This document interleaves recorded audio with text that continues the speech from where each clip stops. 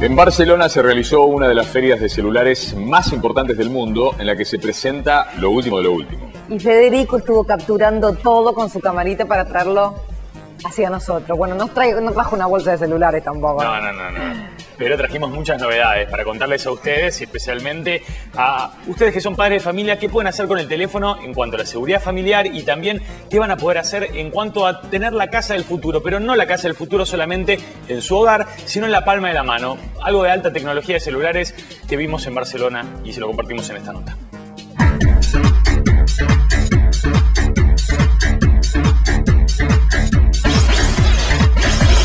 Llegamos a Barcelona para conocer todos los avances en el mundo de la telefonía celular, servicios y teléfonos de hoy y de mañana, que vamos a tener en la palma de la mano los argentinos muy pronto.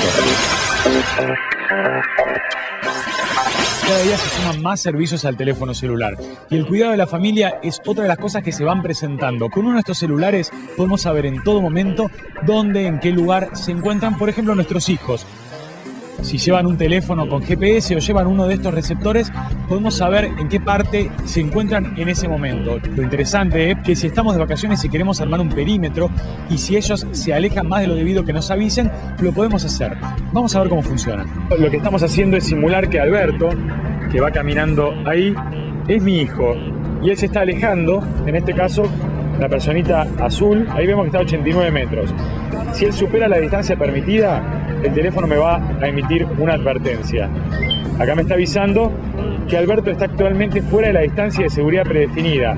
Por lo tanto, tenemos la alerta que indica que nuestro contacto está fuera del perímetro de seguridad controlar todo lo que pasa en nuestro hogar de forma remota, desde cualquier lado con el teléfono celular. Este es otro de los dispositivos que se presentaron que permite desde prender y apagar luces, controlar la temperatura de casa, ver una cámara de seguridad o directamente abrir una puerta sin llaves, todo con el teléfono, conectándose a través de la red de telefonía celular o de internet. Este es el menú de opciones del sistema de Home Control, solamente con tocar el botón. Ahí se acaba de prender la luz. Si quiero volver a apagarla, hay otras opciones que permiten, por ejemplo, ver distintas cámaras en tiempo real que muestran qué está pasando en el hogar. Esta es la función del sensor de temperatura.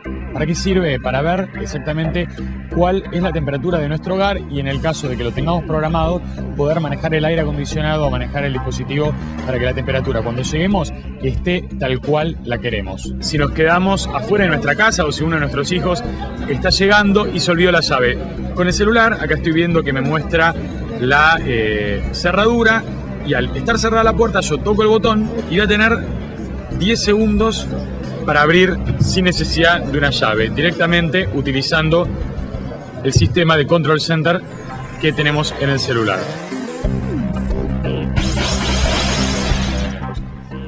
Tienes el famoso teléfono buchón. Exactamente, ¿qué estás haciendo? ¿Dónde estás? Y hasta videoconferencia también, todo eso se presentó acá. Complicado para... O sea, yo te puedo dar un celular y con otro sé a dónde estás. Exactamente, y si yo Y me voy más de, más de tantos 100 metros, metros, digo- o la velocidad también. Una cuestión muy interesante es que si, por ejemplo, uno quiere saber a qué velocidad se está transportando alguien, por ejemplo, su hija salió con alguien, con un chico con un auto. Yo, Quiere- tu novia. Claro, y quieres saber si están yendo más de 100 kilómetros por hora, el teléfono te avisa, cuidado, están yendo muy rápido. Es buchón totalmente. Rodolfo, me quedé pensando algo. Yo con Milva ya había logrado transformarla, convertirla casi en un ser tecnológico.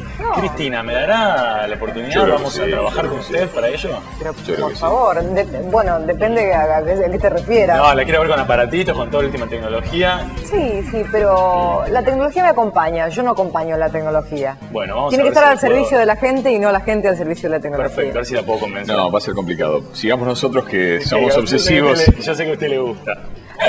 Bueno, Fede, hay más. Hay más. público. Vamos a Sí. tener mucho más esta semana de lo último del celulares, así que si le gustan los chiches y los teléfonos y lo que va a venir, que va a estar con usted muy pronto, véanos esta semana, que hay mucho para compartir. Gracias, Fede. A vos. Ahí sí lo...